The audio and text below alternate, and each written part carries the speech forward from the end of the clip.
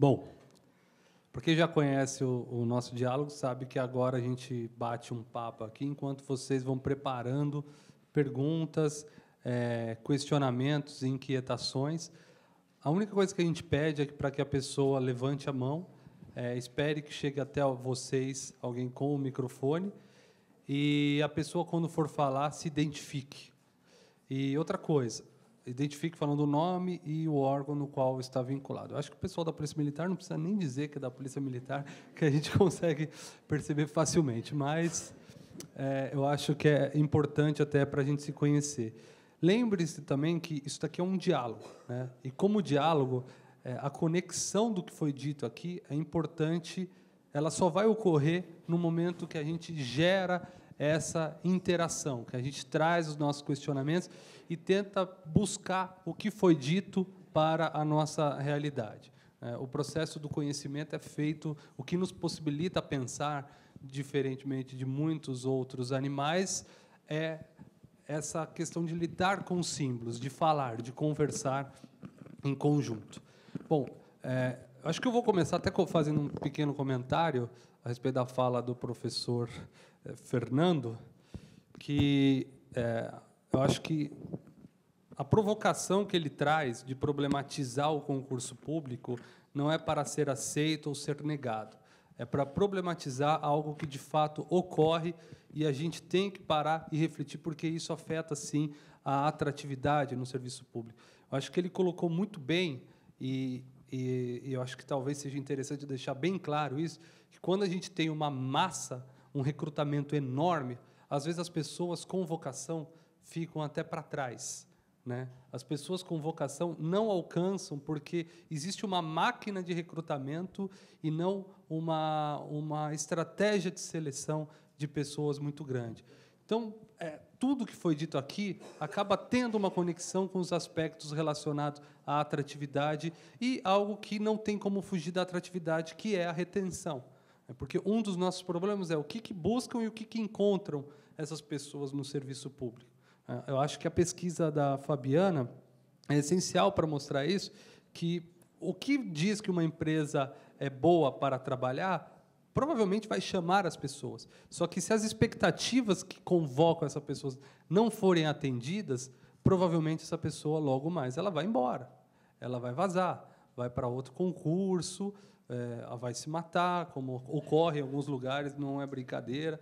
Existem órgãos com índices de suicídio bastante significativos. As pessoas começam a se desmotivar com o que estão trabalhando. Né? Então, é, esse trabalho de refletir sobre como construir um ambiente de trabalho em que possa ser de fato atrativo, mas pensar também no processo que nós temos para poder trazer essas pessoas que são atraídas e que elas possam entrar nesse choque da expectativa é essencial. Tem um poeta francês que eu gosto muito, René Char, em que ele diz assim, que aquilo que vem ao mundo para nada perturbar não merece respeito nem paciência. Então, eu acho que essa é a tônica aqui do nosso debate, né, que é provocar um pouco para a gente começar a se mexer um pouco mais sobre o que acontece no serviço público. Frente a isso, fazer minha primeira pergunta para Fabiana, né, que é eu gostei muito de saber que os aspectos relacionados à gestão de pessoas elas estão é, elas norteiam essa esse processo de seleção você poderia falar assim, o que de fato da gestão de pessoas em especial o gestor o que, que caracteriza uma uma organização pública com que é considerado uma referência nesse aspecto de gestão qual, qual, é o diferencial dele frente às demais?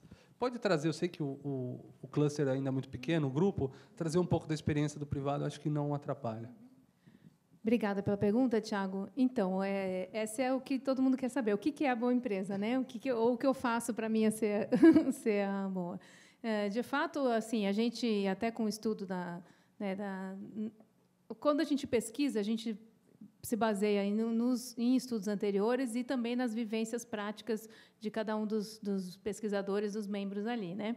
Então, eu, eu uh, diria que as melhores empresas elas conseguem é, têm boas práticas e traduzem essas práticas num resultado de satisfação para o funcionário.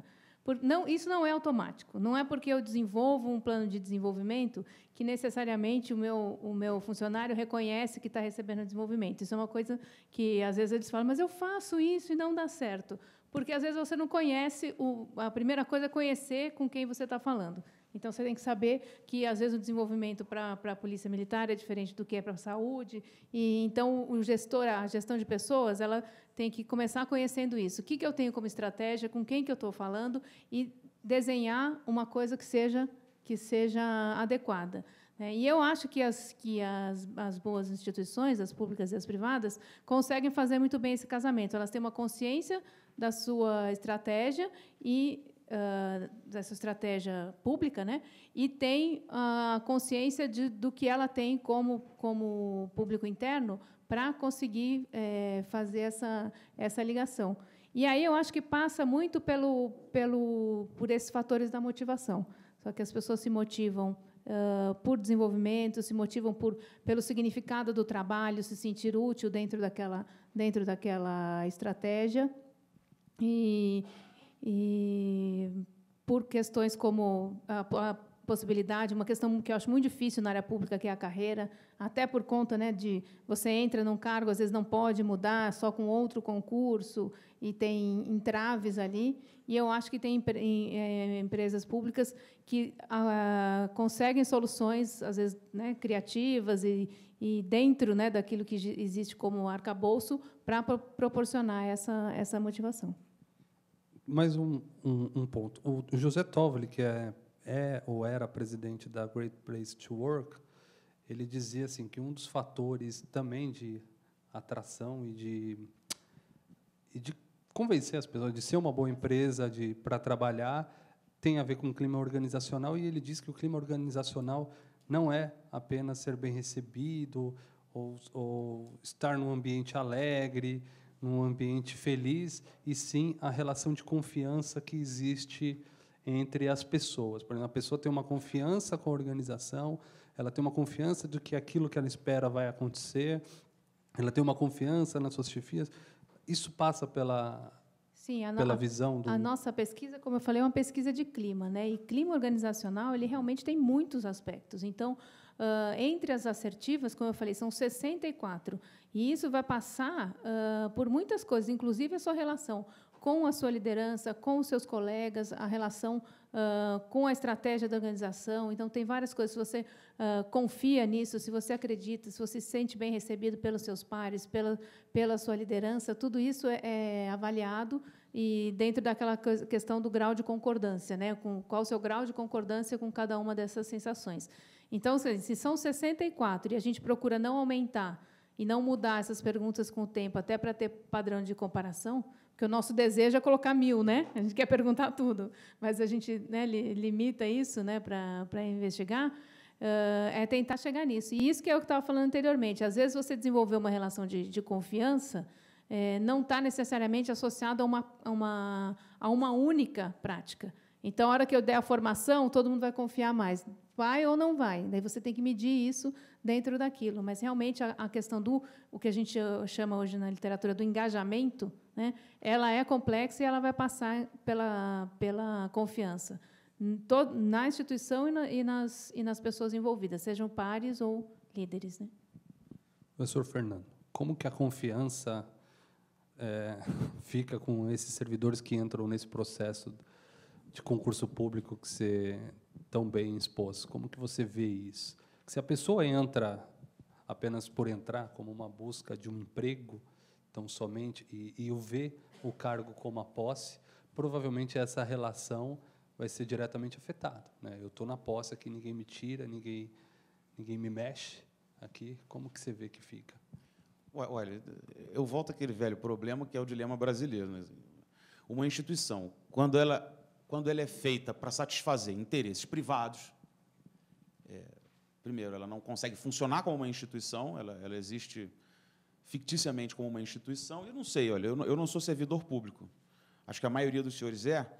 Os senhores devem ter várias histórias né, de Dom Quixotescas, histórias heróicas de pessoas que têm uma mentalidade republicana no sentido de achar que a instituição tem que funcionar com regras impessoais para todos e de terem sido, em algum momento, travadas. De terem sido, em algum momento, travadas. Enfim, se, se não passaram por isso, devem conhecer alguém que passou, que está passando. Mas eu diria, tenho a impressão que essa é a tônica da maioria das lutas no interior das instituições. Agora, é, esse é o único pensamento que eu consigo generalizar, dada a particularidade encontrada em várias instituições. Né? Então, a minha pesquisa é focada em concursos, mas a intuição que eu tenho que deve acontecer quando você recebe novos ingressantes é você tem uma ideia que o comportamento geral vai ser um comportamento de acomodação, né? e caso você tenha percebido alguém, caso você tenha alguma espécie de projeto semi-privado dentro da instituição e tiver recursos para particularizar e diferenciar algum daqueles entrantes, você vai beneficiá-lo de alguma maneira, de maneira objetiva, com um cargo, com uma gratificação. Isso é muito comum eh, no judiciário, com a possibilidade que os juízes têm de recrutar servidores técnicos ou analistas para os seus gabinetes. Né? Você privatiza a relação na medida em que você tem um servidor público, mas que o salário dele praticamente dobra pelo exercício de um cargo ad nutum. Mas aí é o seguinte, aí parte da promessa do serviço público vai embora, porque é, aquela gratificação pode ir embora do dia para a noite, com uma assinatura. Não é isso? Então, se precisar trabalhar sábado, trabalha sábado. Se precisar extrapolar o expediente, extrapola o expediente. Há depoimentos de que, olha, foi fazer serviços privados para mim, etc, etc, etc. Né? Então, eu quero dizer que, numa, quando a regra é que as instituições têm que funcionar para satisfazer interesses privados, você tem, na verdade, você não tem elementos motivacionais para os novos recrutados. Você tem formas objetivas de cooptação pessoal. É uma hipótese, tá? É uma hipótese que eu ainda não tenho muita vontade de fazer uma pesquisa sobre isso, tá? E focada em judiciário, mas por enquanto é uma é como eu posso responder por enquanto, viu, viu, viu Tiago? E Fabiano, vou fazer um, uma provocaçãozinha aqui. Tá. A gente já, enquanto chega o microfone, é, fazer uma provocação a respeito dessa pesquisa. A gente sabe que essas pesquisas normalmente motivam muito a criação de novas políticas, é, de benefícios, em que você tenta estimular a, o engajamento da pessoa com questões externas. É, vamos supor que num serviço público você está com dificuldade é, de selecionar esses vocacionados por toda essa estrutura que o professor Fernando colocou. Então você tenta estimular falando, ah, vou fazer um salário melhor, vou colocar um benefício de alimentação melhor para o pessoal não reclamar ou para poder mais e mais pessoas começarem a, a se recrutar. Você não acha que muitas vezes é, esse esse tipo de, não estou falando nem que eu concordo, tá? Mas que esse tipo de política ele pode ser muito parecido e semelhante com o que ocorre num casamento que está decadente. Então, aquela pessoa morreu o amor, então você bota um chicotinho, um courozinho para tentar dar um, uma esquentada naquela relação e, de fato, você não engaja a pessoa. Você está dando mais um chicotinho, que depois você vai ter que dar um chicotinho maior até que parte para agressão, daí um acaba não gostando mais, né? Acabam trocando, invertendo. Você está fazendo essa pergunta para uma divorciada. Então. Bom, é, o que eu falei, assim, é verdade. Quando você não, não é, pega lá o sumário executivo da, da pesquisa e vê exatamente né, aquilo que está causando a insatisfação, você corre o risco de oferecer mais daquilo que a pessoa não quer. É? E aí ele recebe mais, mas continua não querendo, né? porque ele queria o amor, né? não queria o chicote. Então. Aliás, falar em chicote para a empresa tem outra, outra não, não tem a conotação positiva, né? Mas, mas eu acho que sim, porque o que acontece? Algumas práticas vão se consolidando no mercado. E a gente começa a acreditar que ter tal benefício é muito bom. Ah, então eu quero ter tal benefício, eu vou oferecer, porque aí eu vou ser bom. Né? E como eu falei que é, até carece literatura, estudos específicos para o público, o, o outro erro que vai cometer é isso. Ah, então eu vou pegar na iniciativa privada, eu vou buscar lá na França e vou né, importar isso né, forçosamente e aí eu não vou, não vou, uh, posso acabar não conseguindo, né? E, e aí você realmente me, me, me provocou, né, você e o, e o Fernando, porque eu estou pensando o seguinte: eu tenho, eu como gestora, né, estou pensando que eu sou RH, né, de uma de uma instituição pública, e eu tenho que trabalhar, com certeza, eu tenho que trabalhar as questões de motivação, como todos os RHs também no, no, no setor privado, né. E com essa questão, né, que eu não consegui selecionar os, os, vocacionados, né, eu tenho que motivar aquele que entrou às vezes não querendo, não, não me querendo. Ele queria um outro melhor, mas passou nesse aqui, então tá, vou, vou entrar porque não, não aguento mais tentar ou porque qualquer coisa. Então uh, é, é, um, é um desafio. Você vai, por enquanto, né, enquanto é, enquanto o lobby do Fernando não for feito lá no Senado, você deveria fazer o lobby, viu? é, a gente tem é esse é com esse público que a gente vai trabalhar, né? E eu tenho que tentar encontrar o que o que o motiva. Mas também tem um lado positivo para não fazer só só críticas, né? Que a gente percebe, né, nos resultados preliminares, que as pessoas gostam de ver o resultado do trabalho, gostam que tenham continuidade. Então, uma queixa que é particular né, do, do serviço público é a questão da continuidade. Eu começo uma coisa e vem uma mudança né, meio autoritária, acaba, abandona aquilo, e isso é um fator de desmotivação. Então, veja, eu, eu preciso melhorar o plano de saúde, eu preciso garantir que aquele projeto que a pessoa se engajou e começou a se dedicar, pelo menos vá até o, até o, o primeiro resultado que ele, que ele tem que oferecer. Aí você vai aumentar o plano de saúde até o topo e não vai motivar o que a pessoa está esperando, no mínimo, olha, é, conhecer a estratégia, saber quais são os, né, os projetos adequados e, ter continuidade naquilo que eu estou fazendo. Né? E aí eu extrapolo, não é gestão de pessoas, mas gestão de uma, de uma maneira mais ampla. Né? Mas, de fato, é uma, é uma, uma armadilha que todo mundo pode cair no público e no privado, você importar uma solução, né? eu vou trazer aquele cara porque ele foi muito bom, ou vou fazer aquela prática que deu muito certo, e não, e não pensar naquilo que, que, que é o seu problema. Né? Quem estava com a mão levantada? Olá, bom dia a todos. Meu nome é Maria Fernanda e eu trabalho na Unidade Central de Recursos Humanos. É, em primeiro lugar, queria parabenizá-los pelo trabalho. Fiquei encantadíssima com as duas apresentações. A minha pergunta é para você, professor Fernando.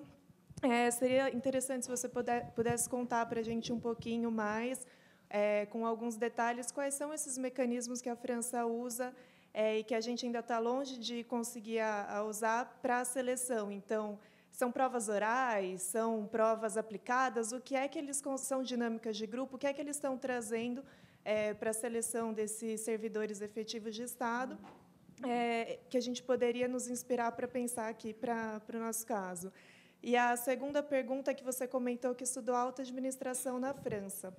E aí eu queria saber sua opinião sobre a possibilidade de combinar a seleção desses elementos que a gente está tão acostumado de mérito é, com a indicação política para esse alto escalão. Vou, vou, começar ao contrário. Tá? Bom, você perguntou minha opinião, estou me sentindo livre. Né? A última coisa que o cientista pode fazer é dar opinião. Eu acho. Tá? Você vai para a plateia acadêmica falou, eu acho, a galera levanta e vai embora. Né? Assim, o que você pode demonstrar.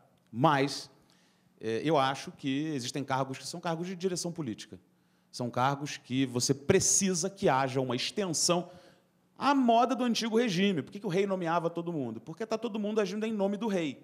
A gente não tem mais essa, essa, essa forma de legitimação é, tradicional, é, né, de, que, de, de que vem de Deus. Mas é o seguinte: eu acho que o sujeito que o povo elegeu né, seja no nível estadual, municipal, esse cara tem que ter direção política e bo sob boa parte do Estado. Não é isso? O nome disso é democracia. Né?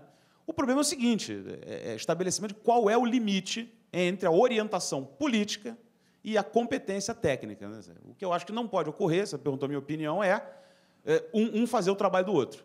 Né? Não há, sou contra concurso para senador, deputado, vereador, isso é um absurdo. Tem que estar lá quem representa as ideias das pessoas Sou contra concurso, mas eu também sou contra eleição para exercer trabalho técnico. Então, um, um, um, trabalho que exija competência técnica, eu acho que tem que ser um servidor contratado por, no setor público, um servidor contratado por concurso, treinado pela sua administração, experimentado na carreira.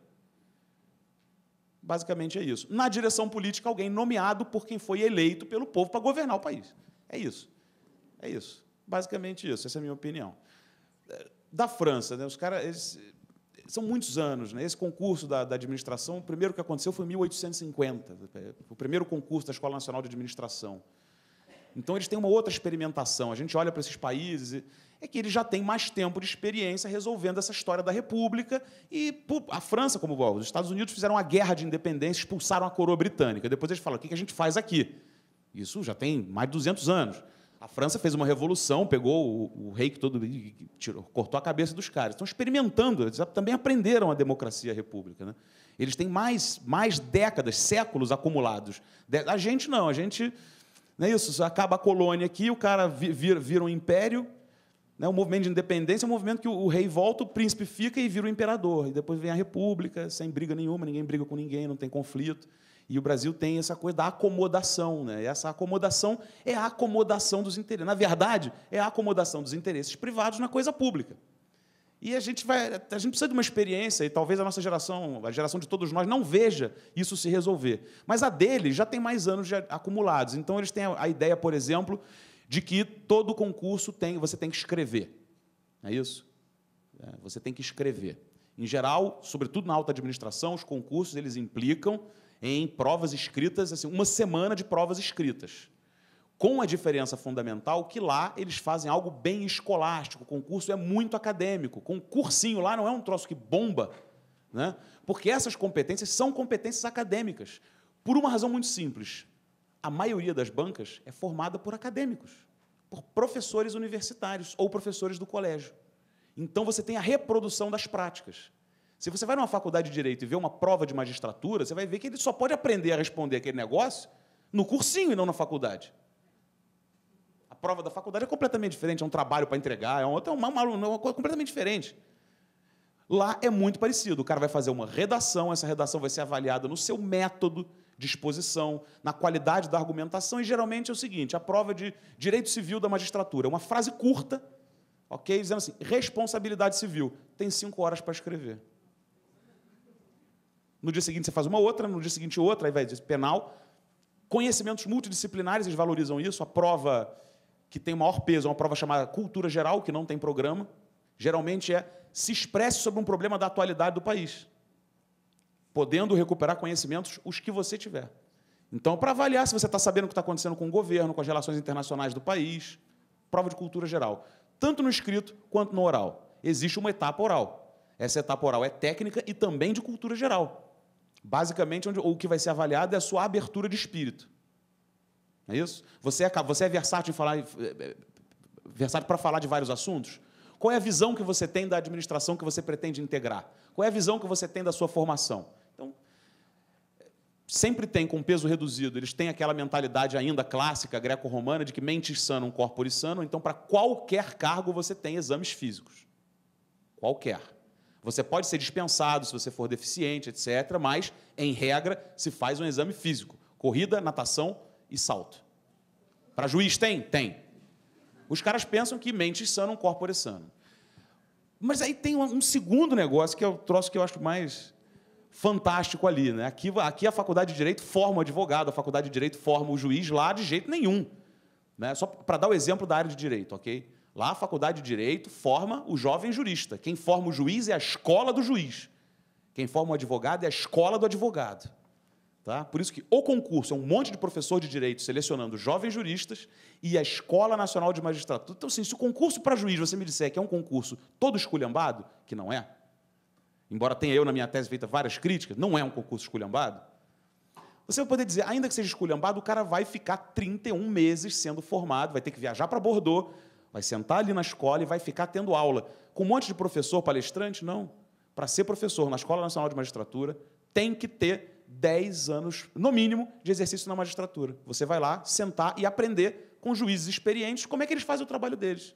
Então, assim você permite que não só conhecimentos, mas uma ideologia da instituição se reproduza. E sem essa formação você não pode entrar na carreira. Esse eu acho que essa eu acho que é a grande, o que mais me impressionou ali é a ideia de que o que estrutura as carreiras é uma escola onde os entrantes têm que aprender e os mais experimentados podem ensinar. Então você tem ali uma possibilidade institucional de produzir quais são as melhores práticas, quais são os melhores quadros, quais são nossos valores e fazer isso de maneira republicana, Né? Não é o grupo dominante, é o grupo que vai conseguir fazer reproduzir os seus valores, seus interesses, suas ideias. Para fora, evidentemente, vai da missão institucional que a lei dá para as instituições. Desculpa se eu me delonguei na resposta. Aqui.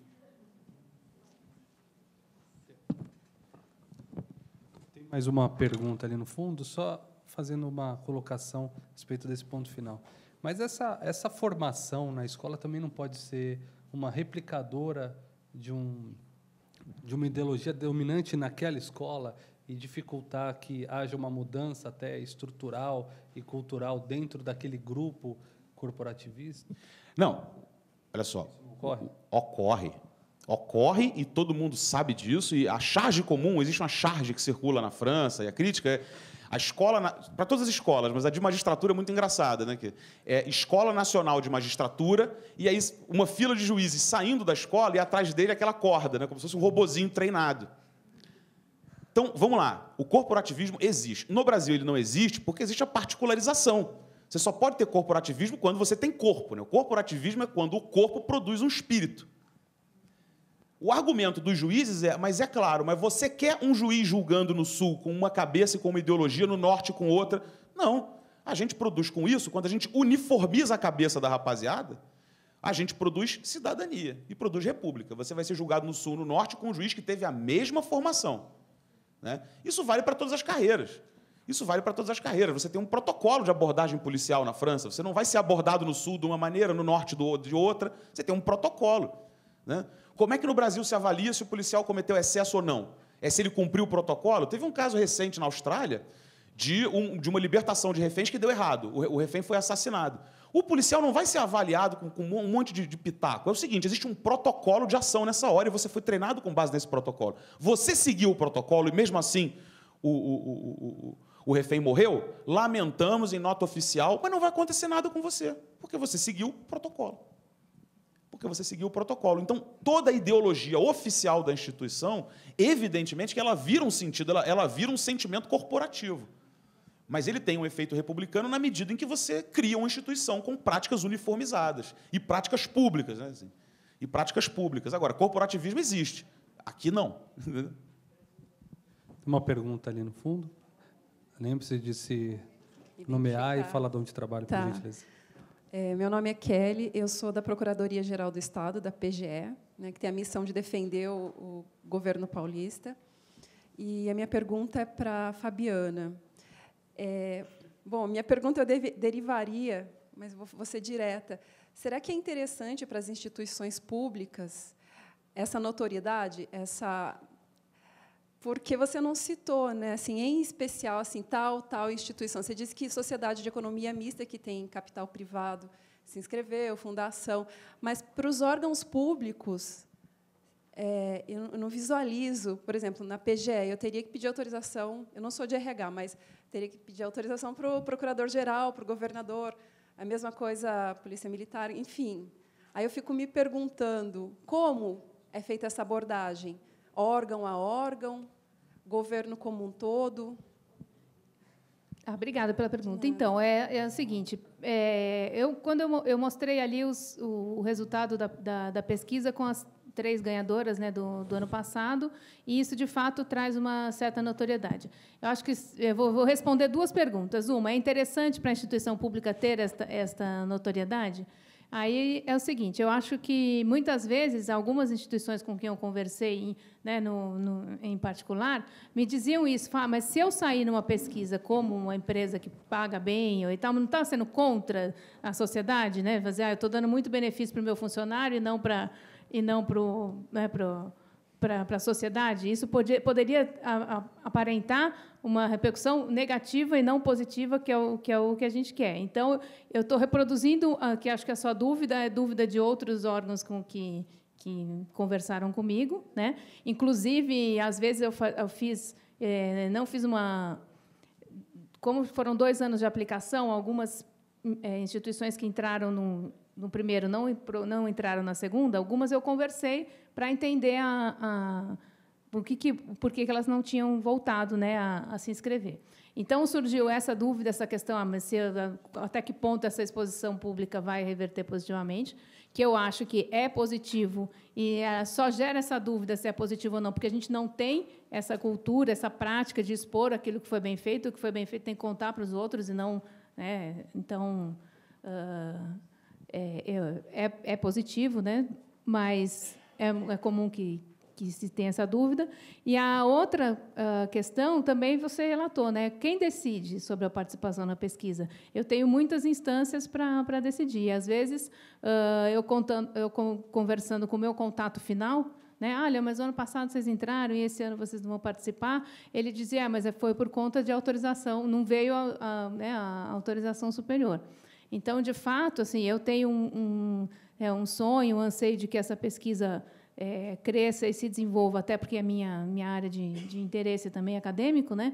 Uh, mas de fato essa essa a motivação tem que estar dos dois lados, né? E ela tem que ser um pouco essa motivação é, top down que a gente chama. A instituição tem que considerar importante ter boas práticas de gestão de pessoas e ser reconhecida por isso, para que isso permeie os outros níveis e saia da instância superior para chegar no RH né? De fato, né? E, mas isso acontece na empresa privada também. Muitas vezes o RH quer muitas coisas e se ele não tem um papel muito estratégico, ele bate a cabeça lá dentro e não, não, não consegue, né? E aí a, a, a notoriedade, né, da, o reconhecimento é que faz com que ele passe a ser importante estrategicamente e aí seja mais natural a, a exposição.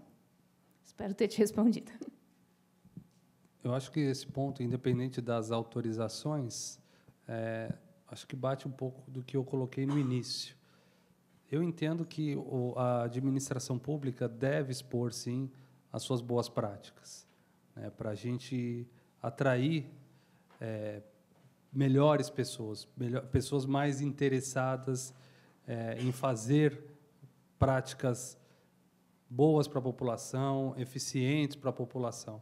Eu acredito assim, que se você tem um grupo que que está deficitário, que está difícil de andar, que não tem boas práticas, por melhor que você coloque uma pessoa lá, é muito provável que essa pessoa decaia. Agora, se você tem uma práticas instauradas de qualidade, é muito fácil você, pelo menos, é, tentar ajudar nesse processo de recrutamento, com que as pessoas parem de ter aquela visão da administração pública como uma coisa apenas ruim.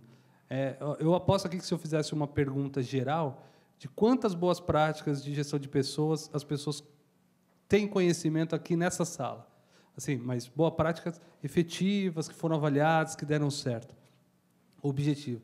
Seriam poucas. Agora, se eu falar assim, me falem de más práticas na área de gestão de pessoas, provavelmente todo mundo vai levantar a mão. Ó, lá tem aquele gestor lá que é, xingou o funcionário, mandou embora, botou, sabe? sempre vai ter essas boas práticas. A gente tem uma tendência de de expor as partes ruins e, e a área pública ainda acho que ainda sofre mais por esse caráter republicano dela, que a própria mídia ela não se interessa tanto em expor o que nós temos de bom.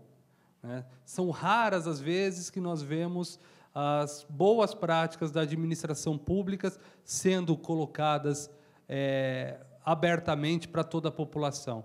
Vou usar um exemplo aqui, já que a gente está na casa da Polícia Militar. Quantas vezes vocês veem os projetos que a Polícia Militar desenvolve em todo o Estado? A gente fez um trabalho que chama Santo de Casa Faz Milagre, que era com um policial militar lá de Campinas, em que ele desenvolve um trabalho excelente com a comunidade, dando aulas de, jiu-jitsu, no qual ele se aproximou com a comunidade. Você não vê isso. Agora, se aumentou o índice de criminalidade, se aumentou tal, tal X, ou se cometeu um, um, determinado erro em alguma ação, como o professor colocou, é a primeira coisa que vai estampar. Por quê? Porque a lógica da mídia, qual que é? O que, que vende? Eles pautam pela, pela pauta jornalística. E o que, que vende? O que, que vende é isso.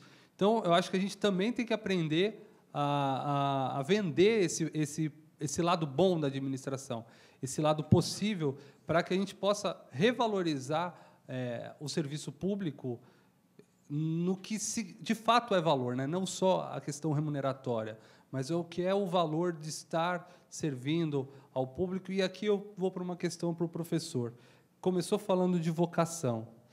pela sua fala, eu entendi que pelos processos como nós temos hoje e o concurso público, é praticamente inviável a gente buscar os vocacionados para a área pública e teremos sempre que lidar com é, uma massa quase que disforme, que a gente não tem sequer noção do que eles buscam. Como que você vê isso? Não, no, no, atual modelo de seleção, com certeza. No atual modelo de seleção, com certeza. Primeiro, pela, pelas práticas de candidatura. Não é isso? A chance que você tem de estar lidando com um candidato que escolheu aquela instituição, que tem razões subjetivas para atuar naquela instituição, e a gente só percebe razões subjetivas quando, olha, eu poderia até me candidatar a um lugar onde é mais, é mais perto da minha casa, o salário é um pouco melhor, as condições são, mas é aqui que eu quero trabalhar. Né?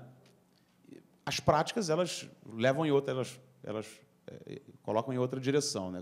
Você tem depoimentos do sujeito que fala, não, eu não vou ser delegado federal, eu vou ser do Ministério Público Federal, porque a dotação, uma dotação é própria, outra dotação passa pelo planejamento e pode, quem sabe, atrasar. Então, assim, pela chance menor que eu vou ter lá de ganhar o mesmo salário, mas com menos chance de atrasar, eu escolho lá. É, a ideologia dos cursinhos ela leva as pessoas a pensar desta maneira. Então, ponto um. Ponto dois é o seguinte: é, eu, eu, eu, sou muito enviesado pelas carreiras jurídicas. Né? Então, assim, é, juízes, promotores, que eu, são, são profissionais que eu acho que têm que ser bem remunerados, no Brasil, eles começam a carreira ganhando mais de 20 salários mínimos. Né? Não é um dinheiro que você vai começar uma carreira privada nenhuma. No mercado financeiro você não começa ganhando isso. Né? Então é muito complicado dizer que eu ouvi a voz de Deus quando você está, do ponto de vista objetivo, sendo muito melhor remunerado né, do que se você tivesse indo para a advocacia privada. Para você chegar a 20 mil reais na advocacia privada de ganho mensal, que o inicial do juiz hoje é 21, para chegar na advocacia privada e ganhar 20 mil, nem todos vão chegar. É, a minoria, a grande minoria na advocacia privada chegará a faturar 20 mil por mês. E aqueles que chegarem não chegarão no início da carreira. Então, assim, eu acho que por vários motivos você falar em vocação né, é algo, é algo, eu diria que não dá. Né, não dá. Tem que, muita coisa tem que mudar para você ter um planejamento objetivo que atraia para a vocação. Né? Assim, uma tentativa interessante no Brasil mas que também é interessante porque é obrigatório, né? É a ideia do serviço militar, né? Que você tem a propaganda, venha para o serviço militar. E a na propaganda, como é que é? Olha que interessante, você vai viajar de avião, não é isso? você vai patrulhar, você vai viajar de barco, olha que vida bacana que você vai ter. É a única que eu conheço, assim, de... Mas daí a gente sofre com a expectativa. Ele acha que As... ele lá de cima. É. Pula de paraquedas, meu filho. É isso. Eu, oi. Sim. Uh, Por favor, tá? Jurandir. Nome e Bom dia. local. Uh, eu sou o Jurandir, da Fundap, e eu tenho uma pergunta para uh, Fabiana e outra para o professor Fernando.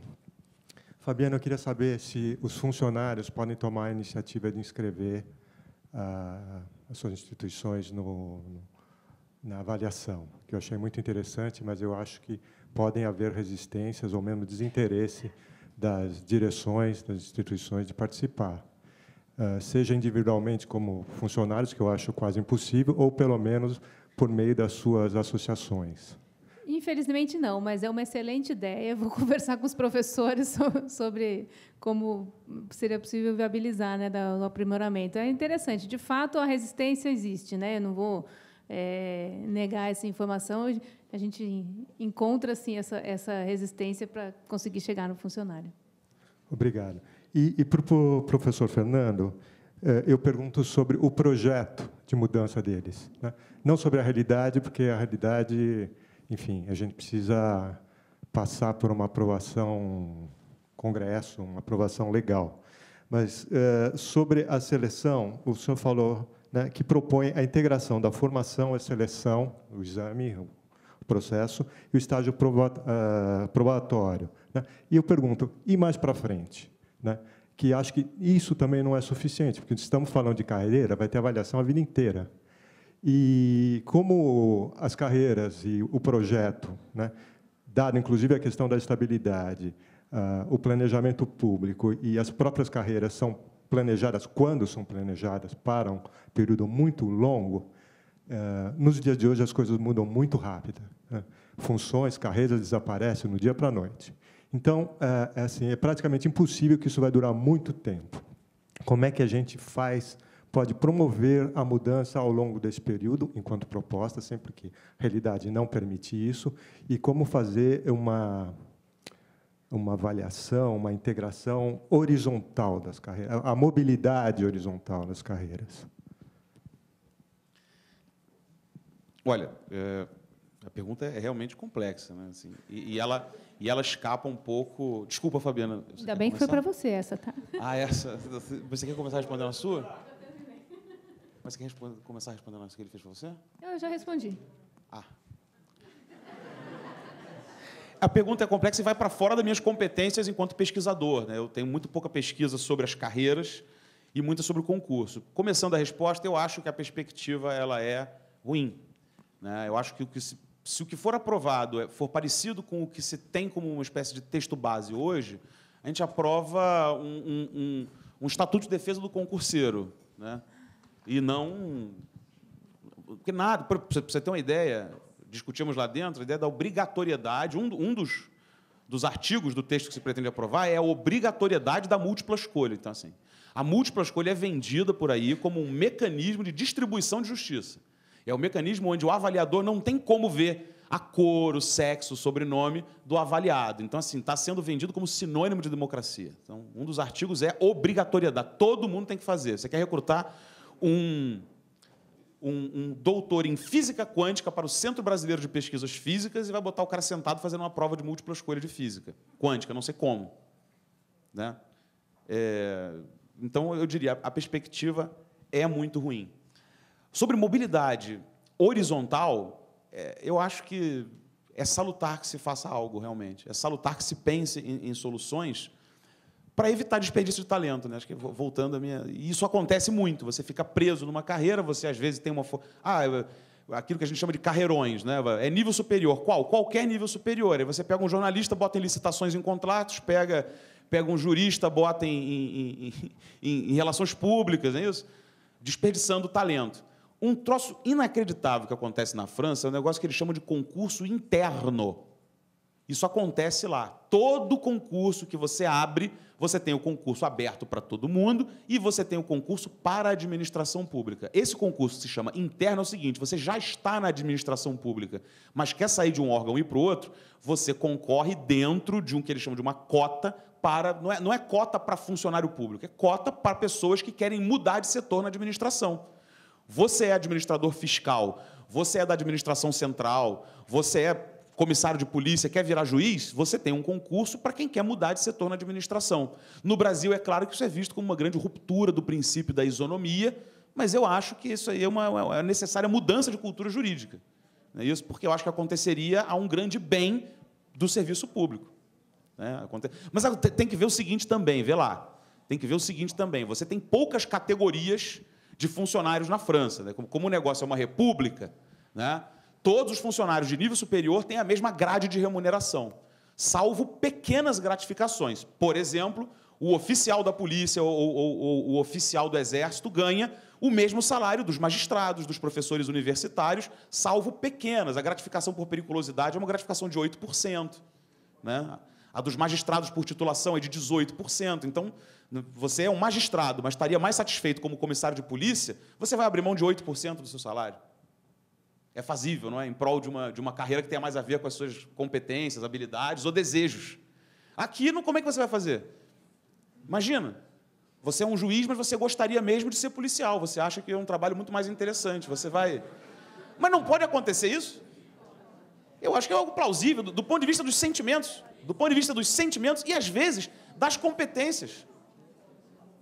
Por vezes, olha só, o, o atual sistema permite que excelentes policiais em potencial estejam julgando causas e que excelentes juízes em potencial estejam combatendo crime. Nosso sistema permite isso. A gente precisa de uma válvula que equacione.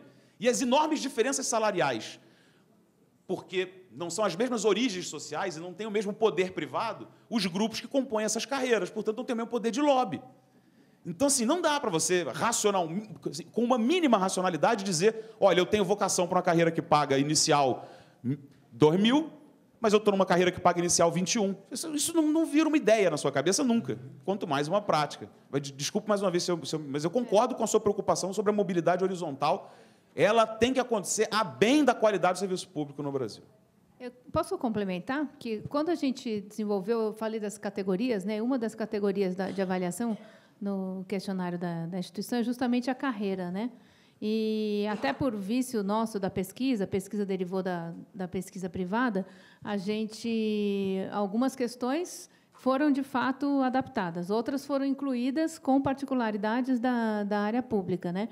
E a gente tinha, às vezes, dificuldades de, de saber o que perguntar, dado a, a, a, as limitações mesmo legais que existiam. Né? Então, eu pensava, quais são... A gente, o que, que a gente tenta avaliar? Dentre aquelas práticas, o que, que a instituição tem ou não tem. Mas, de repente, o, o, a, o rol de possibilidades do que ela tem para oferecer já, é, já é restrito, né? Nesse sentido, ele pode fazer o concurso interno, ele pode que tipo, quais são as chances, né? Que, que tipo de mobilidade, né? Se, se pode ter. Então, de fato, foi até uma uma, uma dificuldade. Uh, a gente acrescentou, né? né tem as perguntas dentro do, do que a gente descobriu como, como sendo possível, mas mesmo dentro do que a gente pergunta, às vezes é possível num tipo de, de organização e não é possível em outra. Né? Então, se é uma empresa economia mista, ela tem recursos diferentes do que um órgão da administração direta. E aí ela nem, nem tem como responder. Tem, tem coisas lá que a resposta não se aplica, porque não se aplica mesmo, não é da, da competência legal daquela instituição responder isso. Né? E, então, a gente sente isso, que a, que a a, a solução, nesse caso, ela acaba tendo que ser é, é, muito é, investigar né, os, os, recursos que já existem, mas muitas vezes vai ter que passar por algum tipo de, de, de, transformação mesmo, né, de ter essa possibilidade de mobilidade. Que isso motiva. E aí vai impactar no clima e tudo lá na frente. Né? Tá, temos um número. Por favor. É, bom dia, sou o Major bom, Pellegrini. Bom dia. É, falando em nome da Polícia Militar, até pela quantidade né, de policiais fardados aqui. É, minha experiência sete anos coordenando os concursos públicos da, da PM. E primeiro, para contextualizar, é, nós temos aí anualmente 100 mil candidatos para e nós aproveitamos 4 mil vagas, aproveitamento de 4%. É, e essa experiência que eu tenho mostra que o recrutamento na instituição vindo a nossa matéria-prima que vem para a instituição, nós não temos problema de recrutamento. O que nós temos problemas é da qualificação, de pegar pessoas vocacionadas. Né? Então, é, hoje o nosso problema é selecionar a boa pessoa. Né? Uma pergunta, uma constatação para o professor Fernando. É, na sua, no seu trabalho, o foco foi a magistratura. E o senhor mesmo falou que a, o completamento de vagas na magistratura ele não é, ele não é, não é uma prática. A, gente, a magistratura de São Paulo também é assim, porque existem outros fatores, até salariais, em que um magistrado acaba substituindo o outro. Existe uma elitização dessa carreira dentro da, da, do Brasil como um todo. O que não acontece, eu acredito, no, no serviço público estadual, porque nós trabalhamos com uma dicotomia, não diria até uma antítese, mas uma dicotomia, que é a quantidade e a qualidade. Né? Eu, a gente, nós não podemos, lógico que o concurso público, o objetivo maior é selecionar o bom profissional, os melhores profissionais, o melhor, é, no nosso caso, civil, que vem para fazer parte dos quadros da Polícia Militar. Ocorre que essa dicotomia quantidade e qualidade ela é sempre uma busca né, no melhor atendimento da população. Ou seja, traduzindo tudo isso, não adianta eu pegar melhores profissionais, é, sendo que eu tenho numa no serviço público para a sociedade uma viatura parada porque eu não tenho policial para colocar nela. Acredito que o INSS é a mesma coisa. Não adianta ter uma agência lá no Acre se ele não tem uma pessoa para mandar para lá. Então essa dicotomia ela diverge bastante quando a gente faz um estudo da magistratura e das instituições públicas estaduais, acredito que a grande maioria tem que ter a pessoa para atender o público.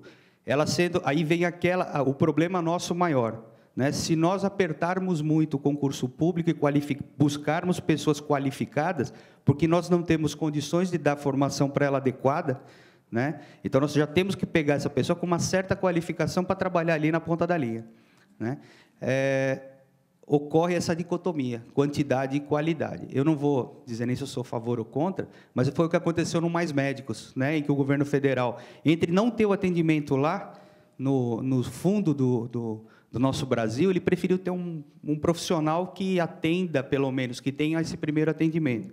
Então, assim, o que eu gostaria de saber, principalmente do professor Fernando, dizendo que eu corroboro em todas as, as suas ideias, né, e sinto muito de não ter algumas pessoas é, que tomam decisão no Estado aqui para escutar as suas palavras, mas que eu corroboro exatamente na, na sua linha.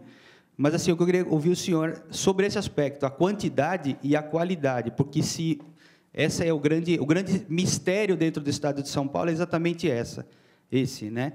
É, o juiz ele consegue é, atender três, quatro, cinco varas e é remunerado para isso. Nós não temos condições de comandar dois, três batalhões, né? E não somos remunerados para isso. Muito obrigado. É, obrigado você, Major. Parabéns é, pelo trabalho e pela forma como você fala do seu trabalho, da sua instituição. É, é, é instigante. É, para quem ouve é instigante.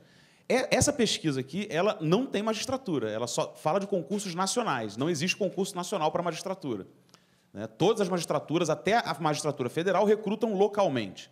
Né? A gente tem várias, são instituições federais, também não, não entra no nível estadual e municipal. São institu 400 e poucas instituições federais de 2001 a 2010. Mas realmente eu tenho muitos estudos sobre a magistratura.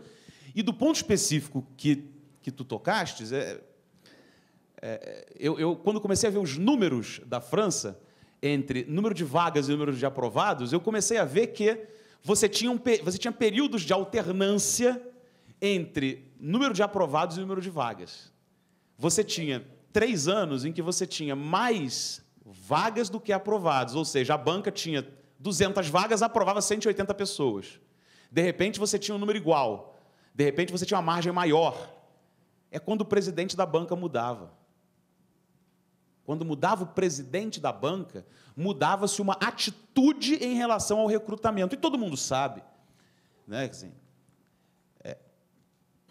para falar de atitude em relação ao recrutamento, né? Quer dizer, eu, como cientista, eu tenho que quebrar a ilusão que se produz sobre em cima dos concursos. Né? É, meu, meu trabalho é desnudar essa realidade. Então, toda administração sabe, primeiro, que não paga só com dinheiro aos seus funcionários. Todo mundo sabe disso. E todo mundo sabe que não faz as coisas só por dinheiro. Né? Aproveitando a presença de vários policiais, uma das maneiras de pagar o trabalho de um policial militar é, para alguns, eu não sei se todos são imbuídos desse sentimento, é o orgulho de usar a farda. Por motivos subjetivos. Muita gente tem esse orgulho. Eu, por exemplo, tenho muito orgulho de dizer que sou professor. Acho uma atividade nobre, acho bonito. Quando eu digo isso, eu me sinto bem. Não vivo disso, isso não alimenta a minha casa e meus filhos, mas é uma das maneiras através das quais eu me sinto remunerado pelo que eu faço. Boa parte é subjetiva. A construção dessa subjetividade é tão importante quanto a construção da objetividade. Então, quando uma Associação Nacional de Magistrados vai ao Supremo, vai à Dilma, vai ao Congresso Nacional para pedir um novo patamar remuneratório para os juízes, isso é tão importante quanto reforçar na sociedade a ideia de que o judiciário é muito importante. Isso vale para todas as instituições. Né? Qual é a imagem da instituição? Isso agrega para a instituição.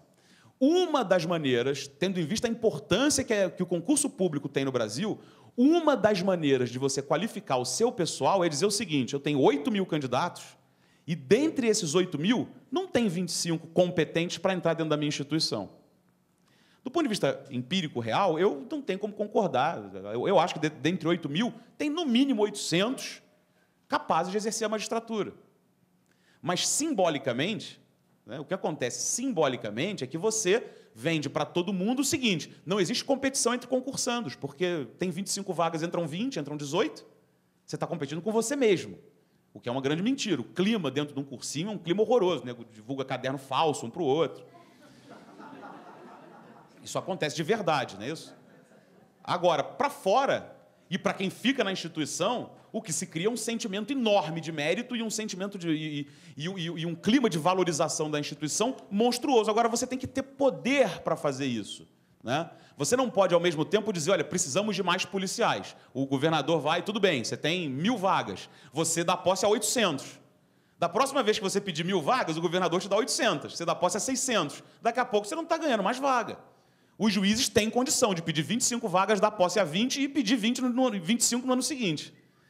Né? Então, assim, tem uma luta política das elites institucionais né, que, que vai permear fortemente. Né? Assim, eu também, oxalá, esse debate se fizesse em termos de, vamos pensar apenas a qualidade do serviço policial, do serviço jurisdicional, do serviço educacional. Não é isso. Estamos falando da valorização simbólica das instituições, de disputas de poder. Né? Eu acho que em todo lugar acontece. Olha só, tem disputa de poder na França, nos Estados Unidos, em tudo que é lugar. Meu problema, volta ao, ao argumento central, é quando essas disputas de poder não têm natureza republicana institucional, tem natureza de realização de interesses privados. Mas, enfim, é, é o que tua pergunta me fez, me fez refletir. É né? fundamental também de, a, a, a, é, a, tensão entre quantidade e qualidade no recrutamento. Né? Eu queria pedir licença, Major, para complementar a resposta, né, e, e sobre exatamente isso, a quantidade e a qualidade. O que, o que me, me chamou a atenção né, na pergunta é o que a gente considera qualidade, porque qualidade também não é um valor absoluto. Dentro da nossa lógica de, de concursos, né, aí, é, a pesquisa do, do, Fernando mostrou isso, a gente acredita que qualidade é saber responder bem aquele tipo de prova, ter, ter titulação é, né, é, acadêmica, uma série de coisas que são constantes lá dos, dos editais do concurso, e, e, aí isso é tido como, como qualidade. E não necessariamente é isso que, para o dia a dia ou para a ponta da, da, da instituição, reflete.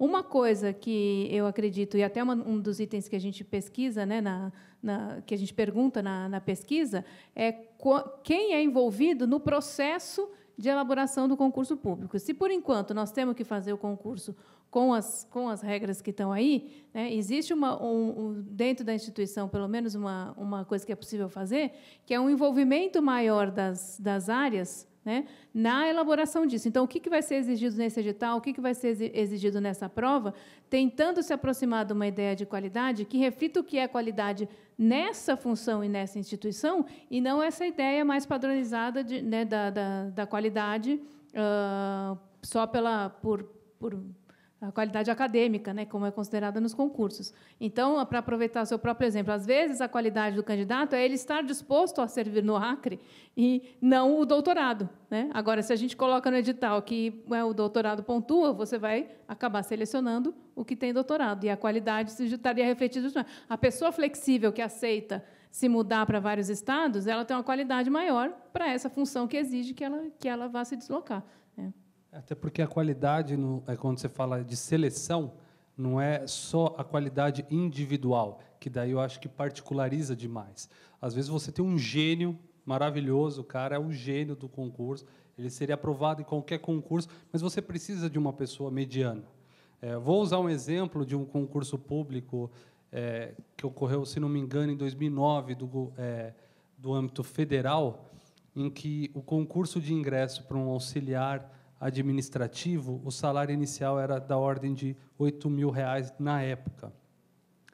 E por incrível que pareça, no processo para um nível não era, se não me engano, não era nem médio, mas vamos supor que, serão, que fosse médio.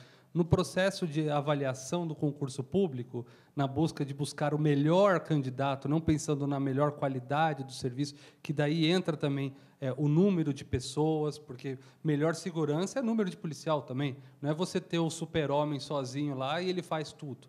É, você tem que equilibrar. Contava-se doutorado, mestrado, pós-doutorado. No concurso por de um ensino médio. Quem entrou? Provavelmente aqueles que vão durante. Ah, o índice de rotatividade naquele órgão era muito alto, entrou quem? quem ia prestar provavelmente um novo concurso. Daí você tem uma bolsa que é muito maior do que a paga pela FAPESP, CNPq, que é cerca de R$ 1.500, R$ 2.500, dependendo do nível de pesquisa que você está fazendo, de R$ 8.000 as pessoas se dedicavam ao estudo. Então, eu acho que a visão sistêmica do processo de seleção, por isso que a gente trouxe a discussão até do, das melhores empresas é, públicas, instituições públicas e do concurso público, é que existe uma coisa sistêmica que a gente deve olhar para poder alcançar o, vamos dizer assim, o ideal talvez a gente nunca alcance, mas melhorias nesse processo de atração de pessoal e de seleção.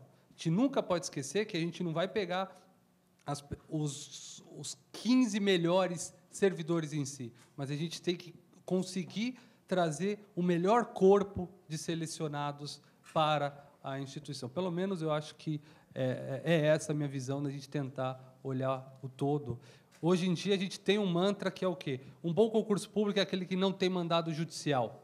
Porque, obviamente, isso é o que empaca a vida do gestor público. Né? Porque você vai ser cobrado pelo seu comandante de falar assim, ó, por que, que não entrou o policial? Por que não teve isso? Por que não teve aquilo? Por que está atrasando? É a cobrança que a gente tem, e faz parte dessa cobrança. A, a rua não pode ficar sem policial. Mas existe. Isso ficou tão pesado, essa parte jurídica, que o nosso mantra é esse. Então, se o concurso não tiver um questionamento, a gente fala, ufa, passou bem o concurso. Independente se a seleção final foi um desastre.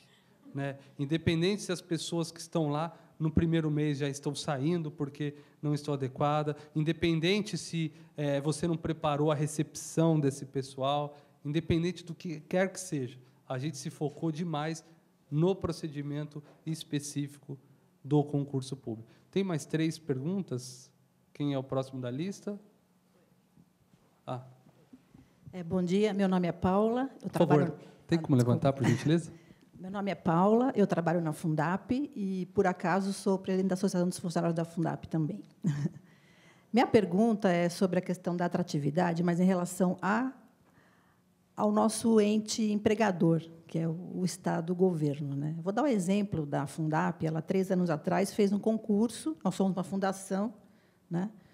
fez um concurso e, após três anos de concurso, mais de 30% dos concursados foram embora, né? não estão mais na Fundap.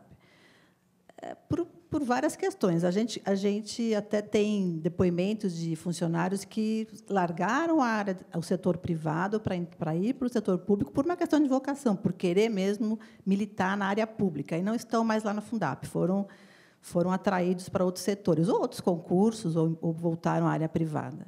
Né? Por quê? É, eu acho que o Estado está carente de ele fazer uma autoavaliação se ele hoje é atrativo ao funcionário, ao servidor público. Né?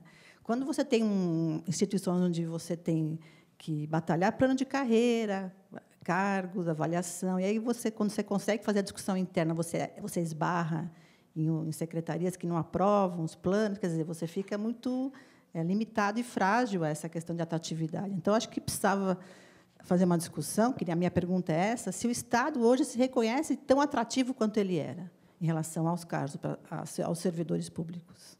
Obrigada. Pode começar.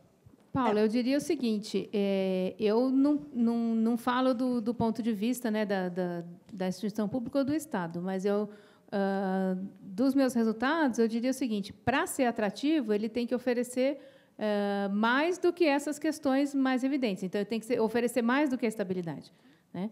Porque a estabilidade, né, como a gente viu, ela vai ser associada à estagnação, à acomodação, a uma série de, de coisas negativas. Né?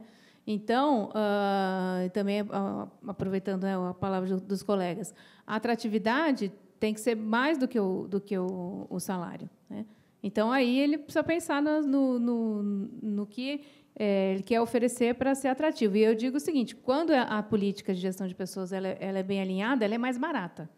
Então, a ideia de que um bom, uma boa gestão de pessoas é a gestão cara, né, não é verdadeira. A boa gestão de pessoas ela é tão alinhada com a estratégia que ela vai fazer isso. Ela vai atrair os melhores, ela vai reter os melhores e conseguir eliminar aqueles que não que, que não satisfazem. Então, o que, o que ela reverte né, é, é de positivo para a instituição, inclusive, inclusive financeiramente. Né? Aí, um outro comentário, né, o 30% de, de turnover é um turnover alto na iniciativa privada, é um turnover de nível operacional de, de varejo, é uma, coisa, é uma rotatividade muito alta para qualquer instituição. Eu gosto dessa sua pergunta porque estava eh, até aqui na lista, que ela toca num ponto central e eu jogo tanto para as pessoas que estão aí aqui junto conosco, com os convidados aqui, o Fernando e a Fabiana, que é também qual é a realidade que essa pessoa encontrou quando entrou na Fundap. O que foi vendido, né, entre aspas, que ela iria exercer na Fundap e o que de fato aconteceu. Né, porque eu acho que, apesar disso ser subjetivo, é algo que de forma de percepção, não vou dizer de é, nenhum estudo empírico, é, porque não o fiz, tá? gostaria de fazer, mas ainda não o fiz. Mas o que, que ele encontra? É, será que quando vocês contrataram alguém para trabalhar na, no design instrucional em EAD, por exemplo, essa pessoa foi colocada para atuar nessa área, foi desenvolvida para ser um bom profissional e, de fato, contribuir na construção da Fundap ou não? Né? Os gestores, como receberam isso? A gente percebe que tem muitos órgãos, também não falando por percepção, em que as pessoas entram e saem de forma extremamente rápida da administração pública, porque quando ela, quando ela entra, ela não tem nenhum de sentar. Quando ela arruma onde ela sentar, onde ela tem que sentar, ela não é recepcionada, né? Ela é um corpo estranho, né? Que deve ser expurgado daquele, daquela sessão. Muitas pessoas são assim. Algumas pessoas são jogadas num canto, às vezes até prédio anexo, fala assim, ó, entrou um concurso grande, aquelas pessoas estão para lá. Quando essas pessoas são ouvidas? Isso daí é uma forma de você, se a pessoa tiver a possibilidade de sair, ela sai. Ela vai sair. E o gestor, o que, que faz? Por isso que quando a gente coloca aqui nós, que nós falamos para gestores públicos, não só setor de RH, porque é eu gestor, o que, eu tenho a ver com isso? Né? Você tem muito a ver, porque a gestão de pessoas não é um processo de recursos humanos. Recursos humanos implanta políticas, pensa política, quem vai fazer de fato são os gestores. Quem vai aplicar o estágio probatório de fato é o gestor que está no dia a dia do servidor. Quem vai cobrar a postura dele é o gestor. Então, eu acho que a gente refletir também nesse outro lado é muito importante. Não só Fundap, estou falando da administração como um todo. Às vezes você vê que gestor fala assim, órgãos pedem concurso público e falam, quero 10 mil novos servidores. Daí passa ingresso todo mundo. Ele falou, pô, bem que 6 mil podia mandar embora, que ele só enche o saco, a gente não precisa de tudo isso. Ele falou, meu, por que, que pediu? Agora, imagine como que fica essa situação dentro da administração pública. Isso não é um fato isolado. Né? Eu acho que uma das colocações da sensação das pessoas que a falta de profissionalismo afeta bastante, impacta bastante nessa, nessa rotatividade, que eu acho que é um bom estudo para a gente fazer aqui internamente. É, inclusive, na pesquisa tem essa pergunta: qual é a política de integração dos novos funcionários na, na, na empresa? Isso é um fator importante né, para para boa prática de gestão de pessoas começa nesse ingresso. No primeiro dia da pessoa, o que acontece com ela? Né? Você tem alguma prática, algum ritual de, de integração para ela participar? Tem perguntas? Bom, eu sou. Por gentileza. Meu nome é Sueli, trabalho na Secretaria da Justiça e Defesa da Cidadania. Ela cuida de direitos humanos e cidadania. É, a primeira é uma pergunta para a Fabiana, a segunda seria uma provocação para o Tiago, para o professor Fernando. Eu verifiquei que no guia tem a maioria das empresas são empresas mistas.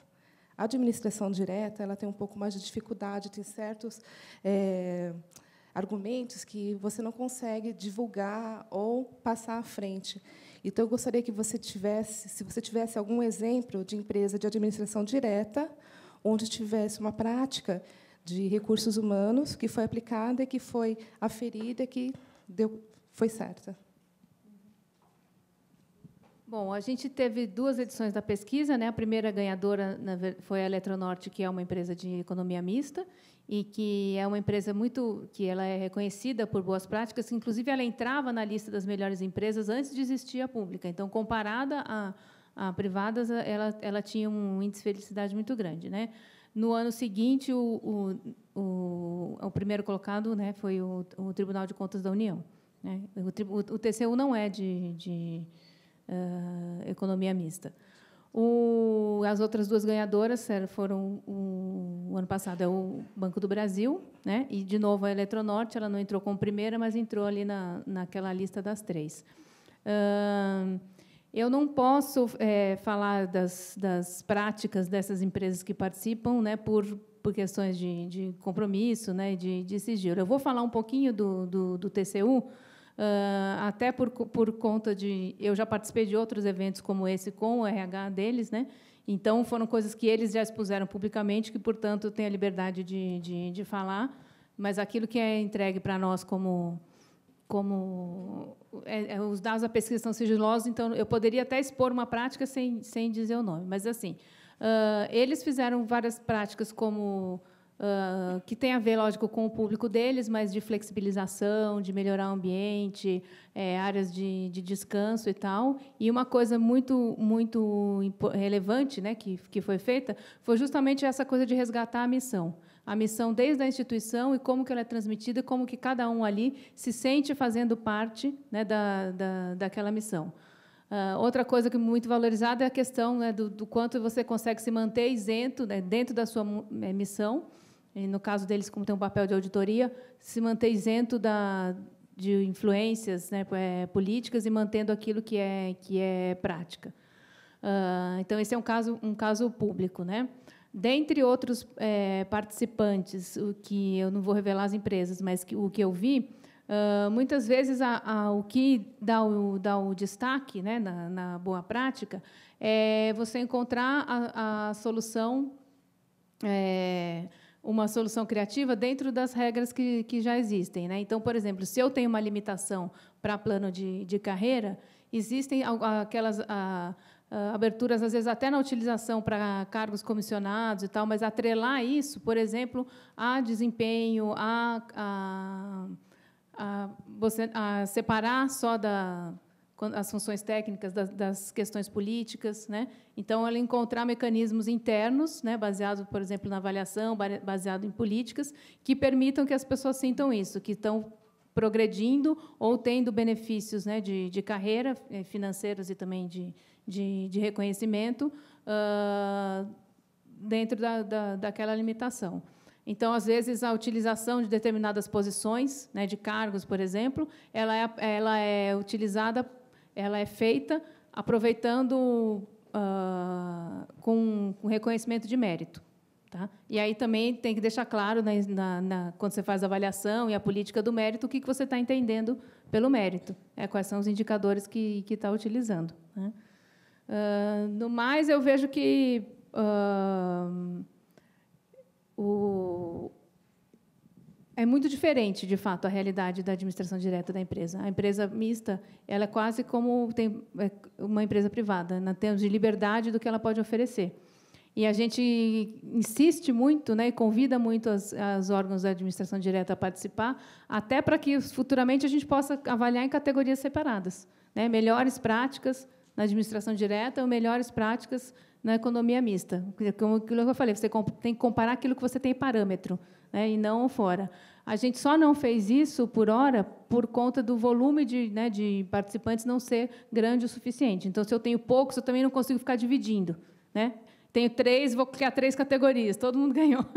Eu teria que ter uma, uma, um número maior para fazer comparação. Obrigada. Bom, é, você tinha pedido minha opinião também? Se é, quiser, não. também não. É um, uma outra posição aqui. Tá. É, assim, eu sou concursada já quatro vezes, passei em quatro áreas diferentes, embora minha formação permita. Né? Eu discordo um pouco em falar que não tem avaliação do funcionário público ela existe, embora não seja feita da forma correta. Existe até meio que uma intimidação em você avaliar bem o seu colega de serviço, né? ou aquele que está junto com você. Então, é, queria fazer uma provocação. Até o momento, existe sim uma máquina de concursos, de contratação de pessoas. Porém, essa qualificação de funcionários cabe diretamente ao RH de trabalhar junto com a unidade. Qual que é o perfil que o gestor quer? Monta-se um perfil desse funcionário. Embora o cargo seja o mesmo, os perfis são diferentes. Né? E chegar a colher esse funcionário, delimitar o que ele precisa e dar o que ele precisa. Né? E você estar junto com ele, fazendo essa avaliação no período probatório, capacitando no que você precisa. Aí eu acho que o nosso serviço seria bem melhor e acompanhar e realmente efetivar o, o período probatório. Aí eu acho que o RH tinha que se envolver junto com as unidades em, é, em busca de um serviço público melhor.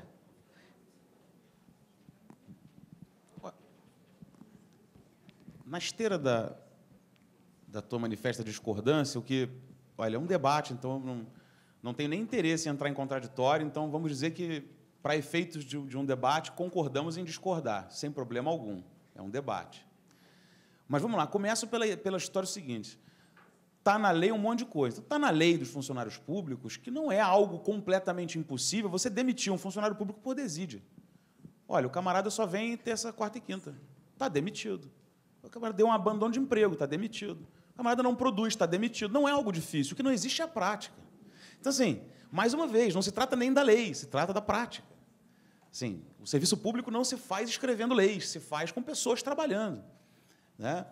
Sintoma interessante é, é, dessas diferenças legais que produzem a mesma ideologia é justamente a diferença entre os servidores estatutários e, os, e não são servidores públicos, né, mas os funcionários seletistas das empresas de economia mista e das empresas públicas, Caixa Econômica, Petrobras. Não tem funcionário público ali dentro, vocês sabem disso. Tecnicamente, não é um concurso público que os recruta, tá? juridicamente é um processo de seleção que vincula a administração, tudo, mas não é um concurso. Tá? E eles não são funcionários públicos. Agora, é, do ponto de vista prático, a ideologia e as, a ideologia e, e, o que acontece é a mesma coisa. Passou, o cargo é teu, né? E tem que dar jornal nacional e fantástico para você ser demitido. Mesmo sendo, olha só, as regras são praticamente as mesmas. Demitir um advogado do BNDES, da Petrobras, as regras são as mesmas para demitir um advogado no escritório. Regras jurídicas, tá? Mas a flexibilidade é outra, estou dizendo. Pode haver um. Então, o que eu quero dizer? Pode haver uma. Eu já falei, tem exceções. O INSS, a polícia, são, são. As polícias, em geral, são instituições com alto nível de demissão.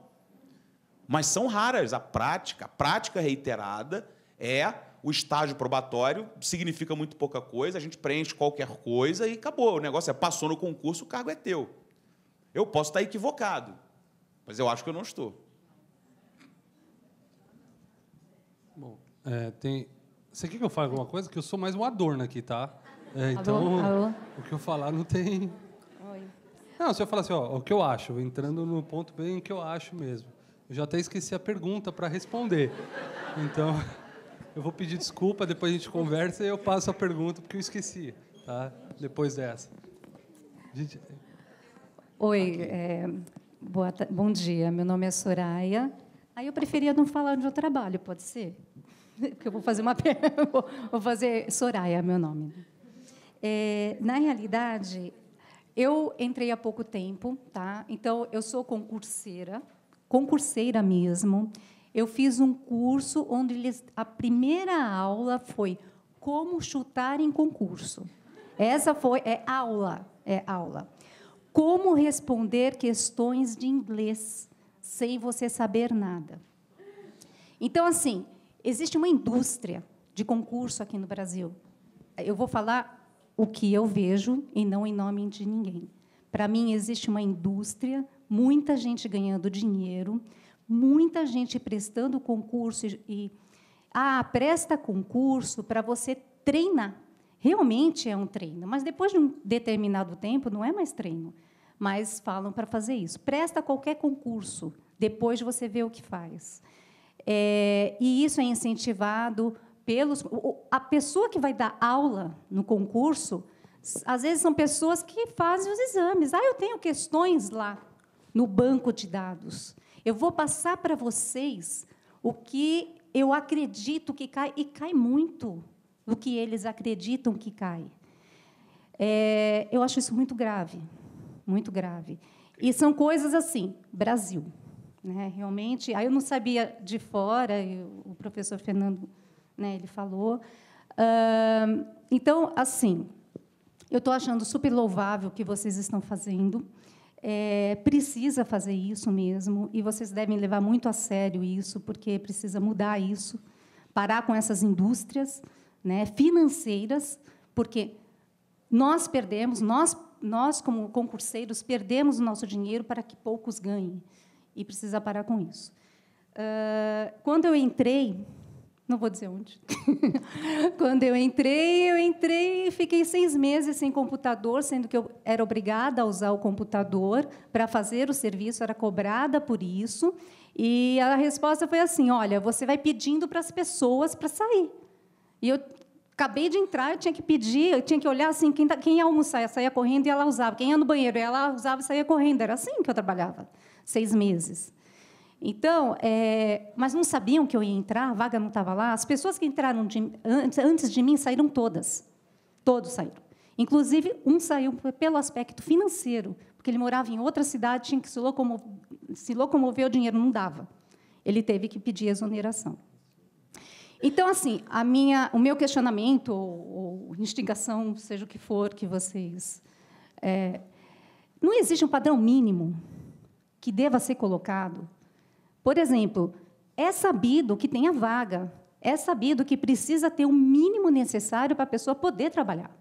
E isso não é respeitado. Então, se não tem, não pode ter a vaga.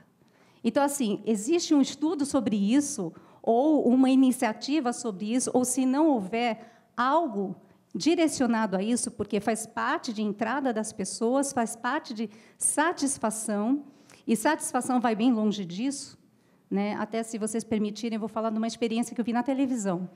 É, tinha um local numa cidade em que o pessoal estava é, passando muito rápido e atropelando as pessoas, não respeitava a faixa de segurança.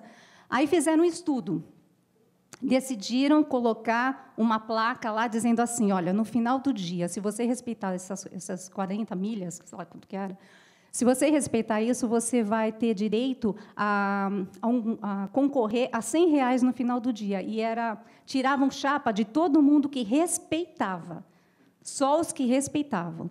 Aí no final do dia era sorteado o nível de infração de trânsito diminuiu assim vertiginosamente. Por quê? Premiava o que era bom. Né? Era, era prêmio por ter realmente feito aquilo de bom. Então é isso. Assim, eu, eu, eu mais coloquei por relação ao mínimo necessário, tá? tá Obrigada. Eu, eu, vou aproveitar até a sua colocação que foi bem bacana, até pela exposição inicial, para fazer o nosso fechamento aqui do evento, os professores respondendo. Obrigada e eu farei, obviamente, algumas colocações. Primeiramente, eu acho, não conheço esse trabalho, mas eu acho que a gente também tem que tomar um pouco de cuidado com essas premiações. Tire essa premiação para ver o que acontece. É um pouco do chicotinho que eu comentei, a roupinha de couro, látex, que o pessoal acaba utilizando como um, um a mais. Isso, é, isso é um problema bastante sério e, às vezes, acaba até acabando com o senso crítico das pessoas. Muitos estudiosos de ética dizem o quê? Que quanto mais lei e proibições, mais decai o, o, a sua condição de refletir sobre a, a moralidade daquele ato. Né? Por quê? Porque você não reflete mais sobre o fato em si, você está apenas sendo é, repetindo uma ordem, por exemplo, numa placa de trânsito, proibido andar é, mais devagar. Eu acho que a sua colocação inicial tem tudo a ver com o que eu coloquei ali para a nossa amiga da Fundap, né, que isso é geral no Estado. E eu concordo que é um absurdo. A, a, a minha dica seria bata em quem pediu, né, porque não tem outra solução. Uma pessoa dessa, é, eu, eu entendo que ela está incorrendo, inclusive, em improbidade administrativa. Pessoas não são canetas. Você não pede 100 canetas. Ah, eu quero 100 pessoas porque eu tenho lá no meu quadro vago 100 cargos vagos. Pessoas não são canetas. Se você não sabe o que a pessoa vai fazer, qual é o perfil que precisa dessa pessoa, se existe estrutura para recebê-lo, não peça. Isso é jogar dinheiro fora. Além de fazer arruinar a vida das pessoas que chegam no serviço público. Como você quer ter uma recepção e que essa pessoa fique, né, se você não dá o mínimo? Tá? Se você não dá o mínimo é, para que essa pessoa. Eu até lembrei qual que era o meu comentário a respeito. Eu não, eu não lembrei da pergunta, mas eu lembrei do que eu ia comentar. Que eu acredito, e daí entra um pouco de crença mesmo, né? É, que as pessoas podem ter um bom ambiente para trabalhar. Não precisa nem ser o melhor, nem o mais atrativo, desde que não torne ele insuportável. Sabe, você não precisa tornar o ambiente insuportável. Parece que é um fetiche pelas pessoas para tornar o ambiente mais insuportável possível. Porque se a pessoa não reclamar, ela não está trabalhando, quer dizer que ela está folgada. Ela não está fazendo nada. Como assim? Ele vem todo dia, ele até fala bom dia, ele sorri para mim, ele fala: o que ele pensa que é? Está com pouco trabalho. Né? E daí você vai lá e troca a cadeira do cara para o cara ficar torto. Ele continua reclamando, você fala: puta, a cadeira não foi suficiente, o que, que eu tenho que fazer? Você vai lá e vai tacando o cara no lixo, no limbo, até o dia que você consegue o que você tanto almejou. É por isso que eu acho que a presença dos gestores para entenderem que muito do que acontece é responsabilidade deles, não adianta botar a culpa nos outros, não. É sim, porque a gente parece que faz questão de tornar o ambiente insuportável. Então, eu vou passar a palavra final para os professores, para comentarem o seu comentário, a sua pergunta, e depois eu faço o encerramento formal. Parabéns pela coragem, Soraya, de expor a sua experiência pessoal. Espero que você consiga superar as dificuldades na gestão. Ah, já foi, que bom. Bom, uh, eu queria encerrar agradecendo né, mais uma vez o convite e agradecendo a atenção de vocês até até essa hora, né? Eu também sou professora, Fernanda, e às vezes a gente sabe é quando a gente vai perdendo a audiência, né? Um sai por aqui, o outro por ali, vai dando aquela uma sensação e hoje a, a plateia ficou cheia até o fim. A gente colou então, eles. Tá todo mundo colado. Então, é, eu queria encerrar voltando um, um pouco que eu falei na minha exposição, que eu acho que volta né, na, na, na, questão colocada ali, que é o papel do RH, né, do papel da gestão de pessoas. Então, se a gente tem, de fato, várias coisas que são uh, engessadas por legislação e que muitas vezes não, não cabe ao RH a o poder de, de, de, transformar, pelo menos de imediato, a gente pode fazer valer aquilo que a gente tem. Então, foi um pouco que eu quis responder. Eu tenho uma avaliação de desempenho, então eu vou tentar fazer com que ela seja uma avaliação de desempenho e não um instrumento para um fazer média com o outro e todo mundo tirar 10. Né? Porque isso tem muitas pesquisas que comprovam né, que demonstram isso. Então, ela existe, mas ela não existe, porque ela não faz efeito, ela não está atrelada a nada e não reflete uma, uma, uma avaliação. Né? Então, dentro do que eu já tenho, o que, que, eu, o que, que eu posso utilizar? E aí sim é um papel é, da gestão de pessoas. Né?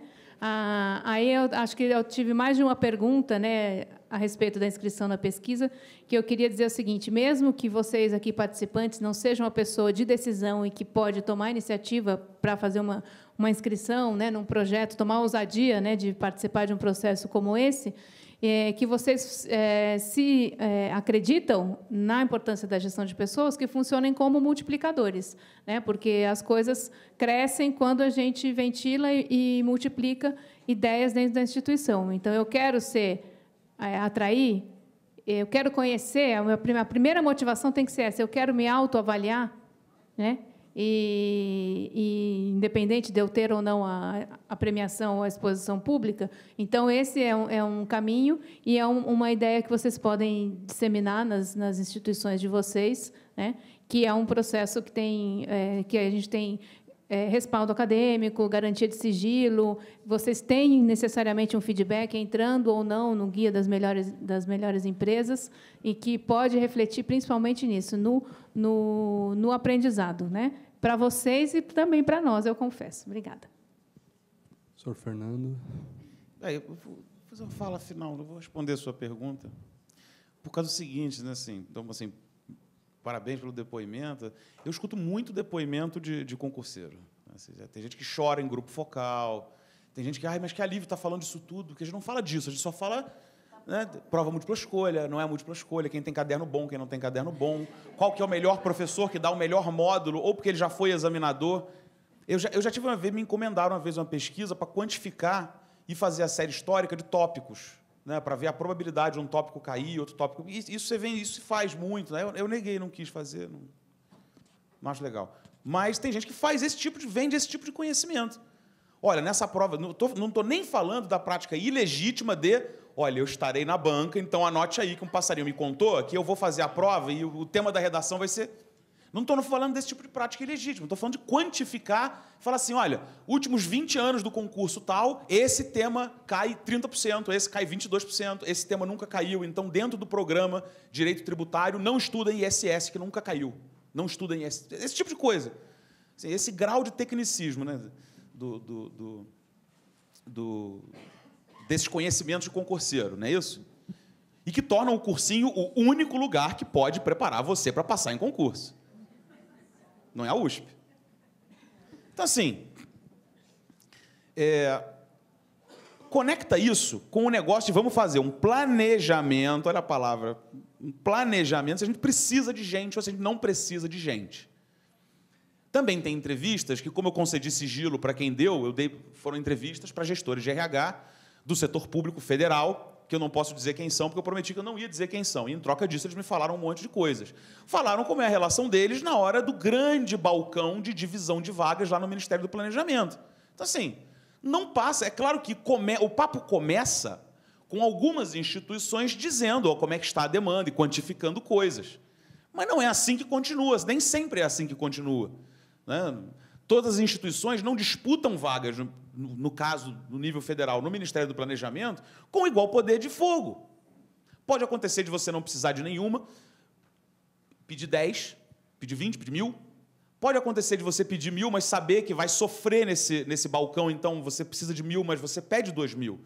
E aí você muda os seus números para mostrar que você precisa de dois mil. Mas vai que você dá sorte, você precisa de mil e ganha 1.500. Entende? Então, é, é, eu, eu, dou um curso para concurseiros, que aí não é para ensinar os caras a passar em concurso, é para dizer a sociologia do mundo dos concursos. É só para dizer, filho, quer se engajar nesse lance de ser concurseiro, aprenda como esse mundo funciona. Né? Então, assim, se alguma coisa eu posso falar para um funcionário público ingressante, é dizer, olha só, boa parte das agruras que você sente como problemas pessoais, como dificuldades tuas de adaptação ao ambiente, como é, é, falta de simpatia dos colegas, na verdade, não são problemas pessoais, são problemas de organização social. E só para encerrar, eh, enfim, o que eu gostaria de dizer, conectando com a, com a, sua pergunta, que eu acabei que não, que não respondi, é o seguinte: o que, que o Estado pode fazer para melhorar? Eu acho que tem várias iniciativas pontuais, mas de uma maneira geral, é o seguinte: se tem gente que tem que ser expurgada, ou gente que está se sentindo deslocada e tem que sair, isso é normal e, por vezes, até saudável. O problema é a frustração diante de não conseguir se desenvolver como profissional. Quando a gente fala que alguém é profissional, é o quê? Profissional é aquele cara que é capaz de odiar alguém. Eu odeio, não gosto da cara desse fulano, não gosto da maneira como ele se veste, não gosto da voz dele. Tudo que ele fala que ele acha bonito na vida, eu acho uma porcaria. Mas na hora da reunião a gente vai sentar e vai fazer o melhor porque a gente trabalha junto. A gente não, ele não vai frequentar a minha casa, eu não vou frequentar a casa dele. Enfim, um ambiente onde você consiga produzir uma ruptura com a sua vida privada. Um ambiente onde seja bom trabalhar com pessoas que você não gosta e que haja uma diferença fundamental entre os seus interesses privados e os interesses da instituição que você, com seu trabalho, vai defender. Em particular, quando a gente fala de uma instituição pública, né? isso que tem deveres e responsabilidades para com toda a sociedade. Obrigado.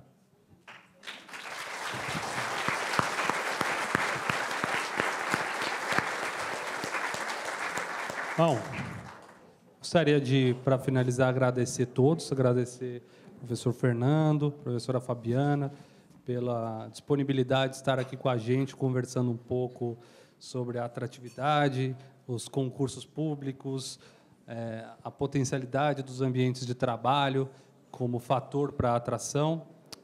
E agradecer mais uma vez à Polícia Militar por ceder esse ambiente maravilhoso, um, um auditório assim de primeiro nível, seu ótimo. É, agradecer pessoalmente o Coronel Aldi, que não está aqui, não pôde estar aqui, mas foi quem é, indicou, inclusive, o ambiente. Tá? E para finalizar mesmo agora, é, o Diálogos eu tenho colocado sempre um desafio. Né?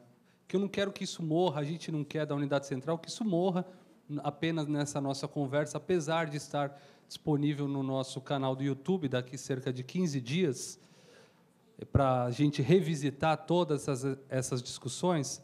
Mas eu acho que todo produto que a gente desenvolve aqui, as nossas reflexões, elas têm que começar a tomar corpo, porque as ideias elas devem produzir novas práticas. E aí eu vou lançar um desafio aqui para quem está aqui presente, pode levar para casa, para a mãe, para o primo, mas principalmente para os colegas servidores públicos, da gente começar a pensar nesse assunto e até, quem sabe, fazer um grupo de trabalho para estudar esse aspecto da atração e da atratividade no setor público.